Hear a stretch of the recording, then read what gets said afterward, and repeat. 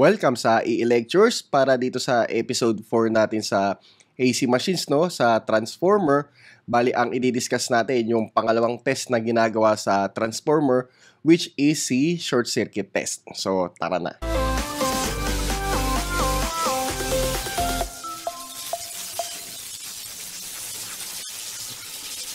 After the open circuit test, si short circuit test naman yung pag-uusapan natin ngayon. So yung short circuit test or yung impedance test, yung purpose nitong test na to is to determine no, yung equivalent impedance and equivalent reactance and equivalent resistance in which the measuring instruments are connected are to determine the full load or rated copper loss. Bali ko ano yung marid ng wattmeter dito, yung value na yun, siya yung copper loss or yung variable loss component ng ating losses sa transformer. So kung makikita natin yung mga instruments natin ngayon, nakakonect sila sa high side. Hindi katulad sa open circuit test, 'di ba? Sa open circuit test, yung mga instruments natin nasa low side. Yung naka-open is yung high side. Sa short circuit naman or yung impedance test, mga instrument natin nasa high side. So tandaan, hindi natin ginamit yung term na primary or secondary. Kasi nga 'di ba, yung high side at low side magbabago no depende kung anong transformer ka, kung step up ba or step down. When the reading of the ammeter is rated, the wattmeter reading is equal to the rated copper loss. So, ibig sabihin nun, di ba, yung lumabas sa wattmeter, yun yung magiging copper loss mo once na ma-hit mo yung KVA rating mo. Uh, let's say, 37.5. So, kung na-hit mo yung 37.5, yun yung papalo na rated copper loss kung ma-full load ka. Okay? So, ngayon, bali sa VSC, usually 5 to 10% of the rated voltage. So, bali sinusuplayan natin yung high side, no? Tapos, isa-short natin yung low side. So, ngayon, di ba magkakaroon ng tanong yan? So, bakit hindi sumasabog yung transformer kapag pine-perform yung short circuit test? Ay, di ba kapag short circuit ko yung outlet ko, Hopefully nothing will happen and I'll know. Sabog-sabog yun. Pero dito, di ba, bakit hindi nangyayari? Okay, so ngayon, check natin, di ba? So, makikita natin sa high side, hindi naman natin sinasagad yung voltage rating nito eh. Uh, for example, di ba, meron tayong 7.2 kV is to 230 volts. So, lalabas, di ba, yung isasalpak natin dito, hindi 7.2 kundi 5 to 10% lang ng rated voltage. Tapos, aantayin mo na makuha yung rated current dito. So, once na makuha yung rated current, ibig sabihin, nakuha na rin yung rated current dito sa short circuit side. So, tandaan, since short circuit ito, naka-short circuit siya, di ba? Yung magiging voltage dyan is equals to 0. Kaya hindi natin kailangan kagad itaas ito kasi 'di ba, yung 230, masya-short yung 230 so napaka laking kuryente lalabas nun. Pero kung dadahan-dahanin mo lang siya na mababa, edi hindi ganun kataas yung voltaheng masya-short na magiging zero. Okay? So gradually siyang aangat hanggang sa makuha niya yung rated niya. So once na mag-reflect yung rated dito, edi magiging okay na siya. So tandaan 'di ba, zero yung voltage pero lalabas meron kang mababasang kuryente dito na pwede mong applyan dun sa turns ratio. Kasi yung A, di ba, is I2 all over I1. So, walang voltahe pero merong kuryente. So, ayan, bali, maliit lang yung kailangan mong isalpak hanggang sa malalaman mong nakuha niya na yung I2 kapag na-reflect na yung I1 dito sa ammeter dito. Tapos, ayun, bali ko ano yung ma-read ng wattmeter doon, siya na yung copper loss mo. So bakit hindi siya sumasabog? Katulad nga ng sabi natin, yung transformers, pwera si auto transformers, is magnetically connected. So, walang connection si primary kay secondary na electrical. Hindi siya naka-splice, hindi siya naka-soldered. So, more on, connected lang sila magnetically. Parang, ano nga lang yun, di ba? Nagta-transfer ka lang ng power wirelessly. Pero, wireless, pero meron ka ferromagnetic material do para ma-transfer mo yung magnetic flux from one side to another side. Kaya we can say, yung equivalent circuit nga, di ba, kapag dinrawing siya, yung representation niya, eh, yung primary, yan yung secondary. So, hindi sila electrically connected. So, once na i-short mo to, magsisirculate lang yung current dito. Pero tandaan, hindi kailangan na mataas yung voltahe na ilalagay mo dito. So, nape-perform itong test na to, pero hindi siya pinapatagal. Kasi syempre, pag pinatagal niya, di ba, delikado din. Kasi nga, yung heat na mapoproduce is equal sa I squared R times T. So, mahalaga yung component na time.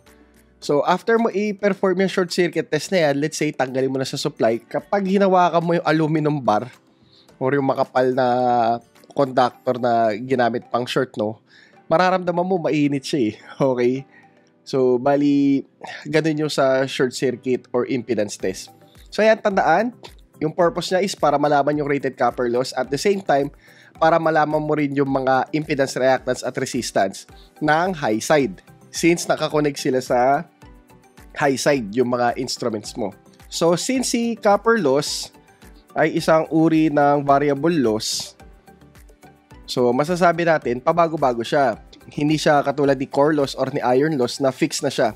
Mapaload or wala, yun na yung iron loss mo. Pero yung copper loss, since function siya ng current, di ba, I squared R, eh normally, ayun, nagbabago nga yung I. Katulad ng diniscuss ko do sa open circuit. Eh di gagalaw-galaw si copper loss. Kaya meron tayong formula dito, copper loss at any load or any percent load. So since yung I is square function, edi yung percent load natin, i-square lang natin and then imumultiply natin dun sa PCU rated. So kapag nag-perform ka na short circuit or impedance test, so let's say 'di ba, maglalagay ka ng aluminum bar dito, tapos i-short mo dito. Okay? And then itong terminal na to, ayan, dyan tayo maglalagay ng supply. So maglalagay tayo ng voltmeter, ng ammeter, tapos ng wattmeter. And then yung supply voltage natin dito, bali variable AC voltage siya. So syempre igagapang natin eh hanggang sa makita natin na mag-read na ng rated value yung current. So okay na siya. And then yung nabasa ng wattmeter doon, yun na yung rated copper loss. So from the previous lecture, nakita natin doon na so si core loss is a function of voltage. At si copper loss naman is a function of current. So bali wala silang pakialam sa power factor, 'di ba? Yung core loss nakadepende lang talaga dun sa voltage ng circuit tapos si copper loss naman naka depende dun sa I. So kita naman natin sa formula natin. So, ito yung mga dahilan bakit yung transformer is naka-rate at kVA. So, ito, di ba, yung hindi na nalulumang tanong. So, why transformer rating in kVA? So, sa nakita natin, yung copper loss ng transformer depends on current. And then, yung core loss naman natin depends on voltage. So, hence, total loss dun sa transformer natin, nagde-depende dun sa volt ampere hindi dun sa phase angle between voltage and current. Tapos independent pa siya do sa load power factor. That is why the transformer is in kVA not in kilowatt. Pero dagdagan natin na yan, no, na explanation. So, ganito kasi yan eh. So, di ba, yung power natin is equal sa SPF as per circuits to, di ba? Yung watt natin is apparent power times power factor. So, ngayon, di ba, yung power factor kasi, more on, yung nagde-define yan, yung load. Kung ang load mo is mga typical na heating equipment, yung mga oven toaster, so resistive type of load siya. So, yung power factor mo is 1. Pero kung yung load mo is mga induction motor, 0.8, so meaning, nag-iiba yung P. So, nagde-depende yun sa load. So, hindi mo ma-define talaga kung ano ba talaga yung parang pinakasagad na magiging true power mo. Okay? So, magiging sagad lang yan kapag yung power factor is equals to 1, which is resistive type of load. Pero yung mga load mo kasi pabago-bago yan eh. May mga motor ka, may mga resistive type of load or capacitive load. Kaya hindi natin basta masabi na ito yung kilowatt ng isang transformer. Kasi magbabago siya eh. unlike nung KVA, so yung KVA niya, hindi na magbabago yun eh. So, hindi naman na-apektuhan ng power factor yung KVA.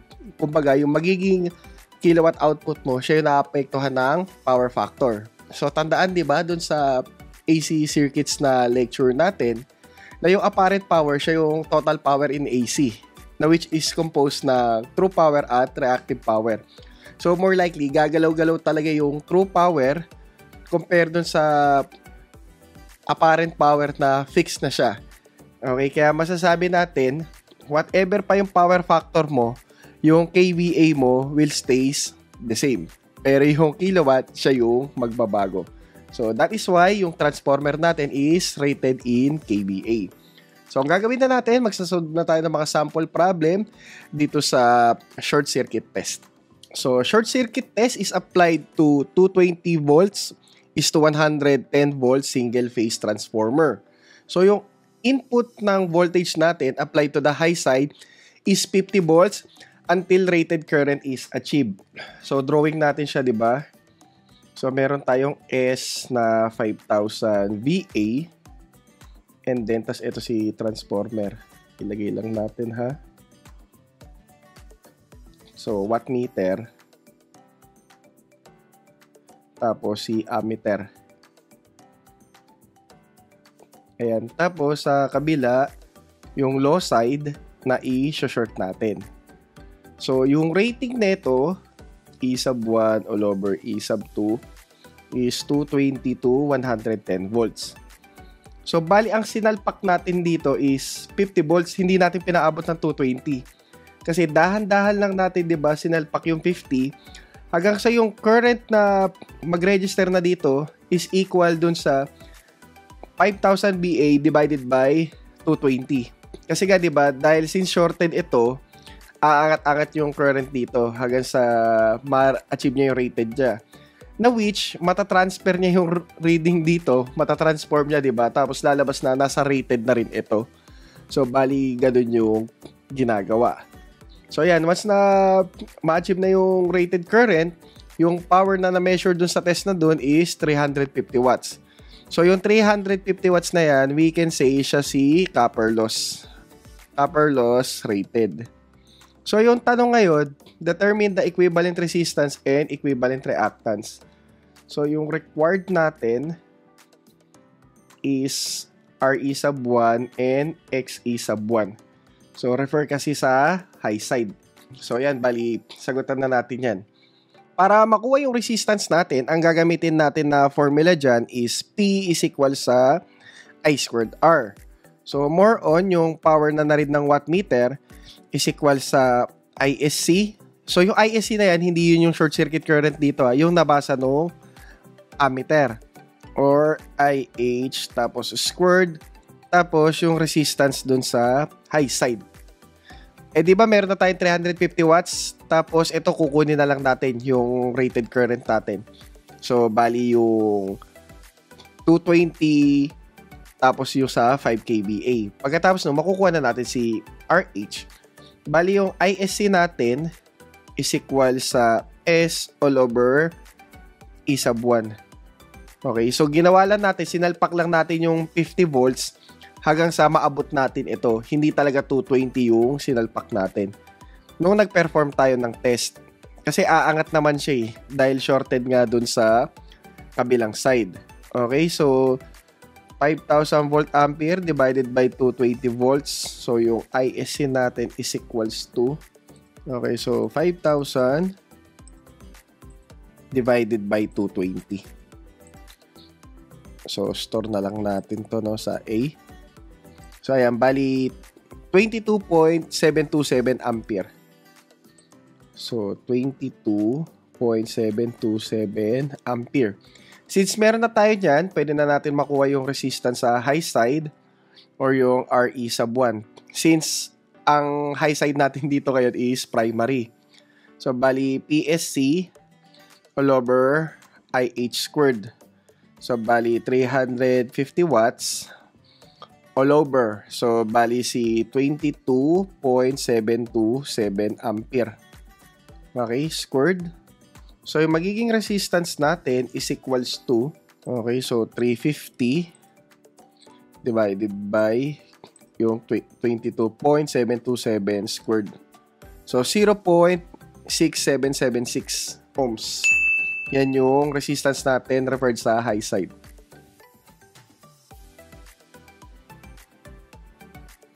So nakuha na natin si resistance, 'di ba? Ang isunod natin si reactance. So bali for reactance, gagamit tayo ng Pythagorean, no? So yung XH or yung XE sub 1 is equals to square root of ZH squared minus RH squared. So yung RH squared meron na tayo, ang problema na lang natin is yung ZH. So yung ZH is yung VSC all over ISC or let's say yung I-rated. So, bali, ang gagawin natin doon is 50 volts all over yung 22.727 ampere. So, yung magiging ZH natin is equals to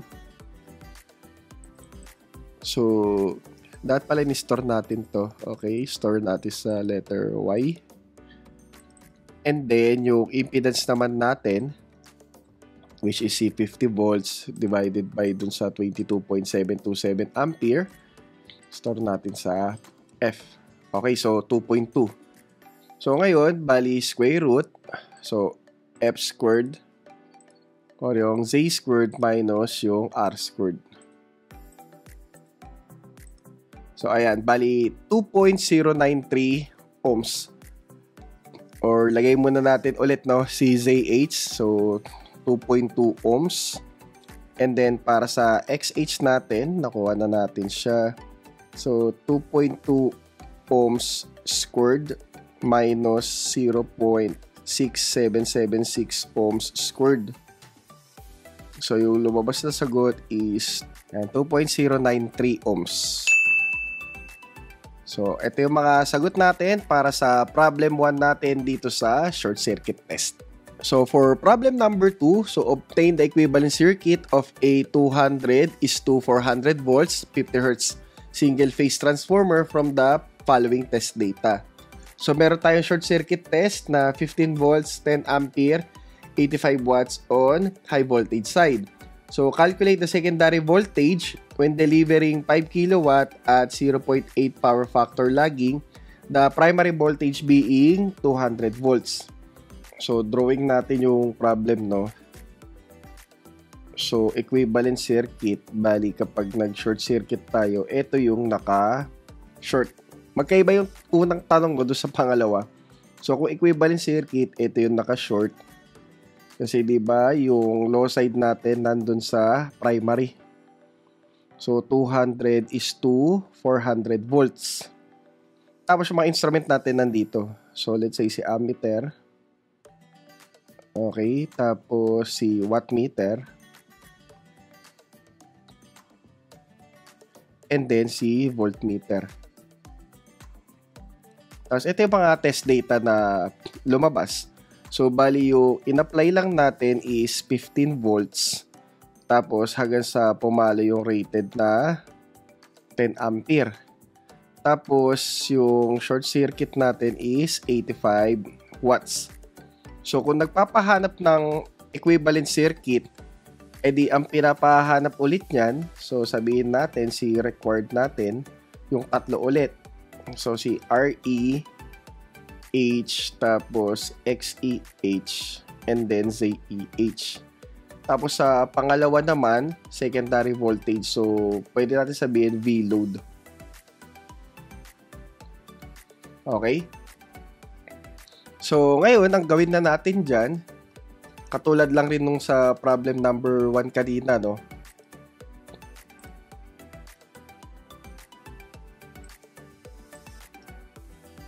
So, unahin natin si R. So, yung RH natin is equal sa PSC all over ISC squared. So, is equals to 85 watts divided by 10 ampere squared. So, yung RH natin is equals to, okay, so tingin ko kailangan ko lumipat ng mode 2 dito para mas magiging madali yung V-load. Kasi magiging ano tayo, complex numbers. Okay, so 85 divided by 10 squared. Tapos padala natin sa y. So 0.85 ohms yung resistance. And then yung ZH is VSC all ISC. Eh di ano siya, uh, 15 volts all over 10 ampere. So yung ZH is equals to 1.5 ohms. So ayan, kaya i-mental naman yung ZH. So pagdating naman doon sa reactance, edi is equal siya sa square root of ZH squared minus RH squared.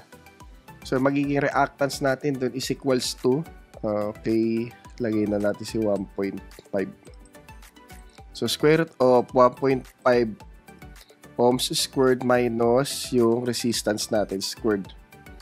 So, yung reactance natin is 1.235 ohms. So, ito si reactance.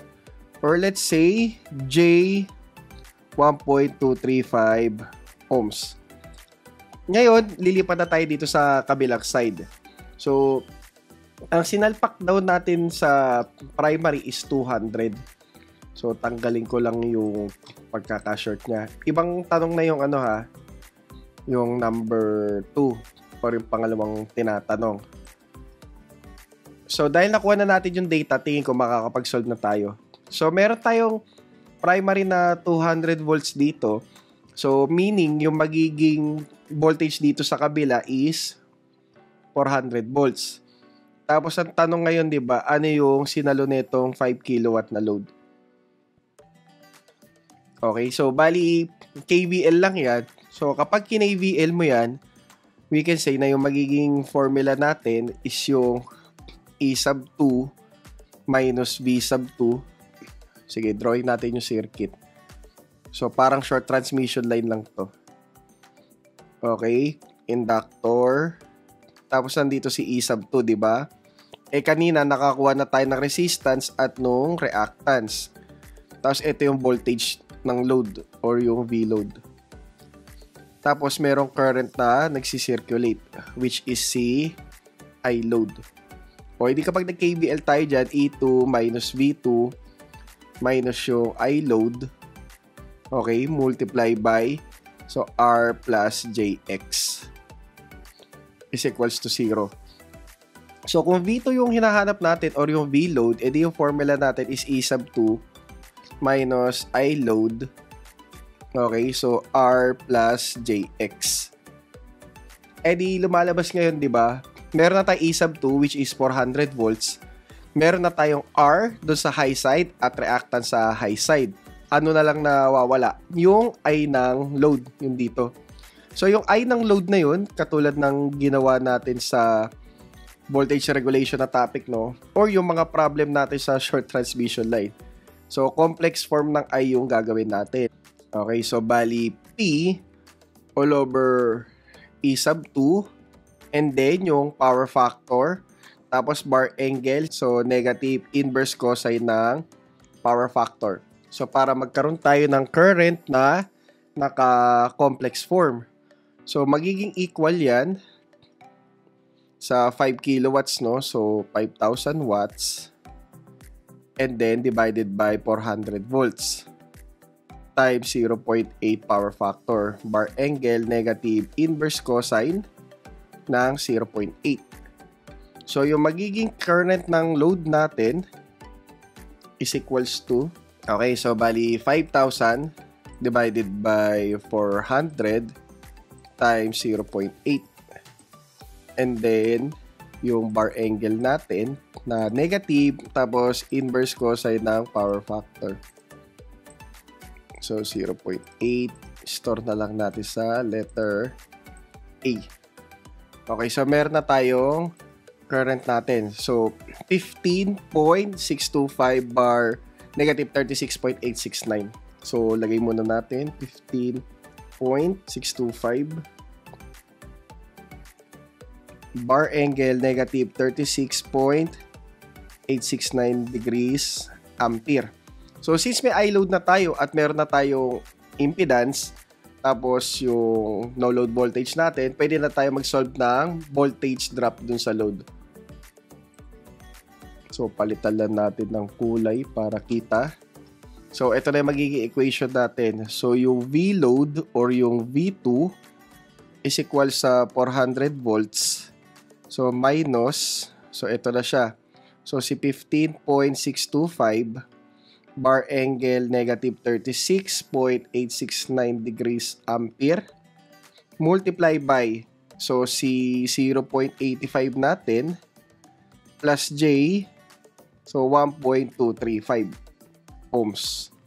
So yung magiging sagot natin sa V load is equals to so bali 400 minus A and then yung Y tapos yung reactance natin, XI.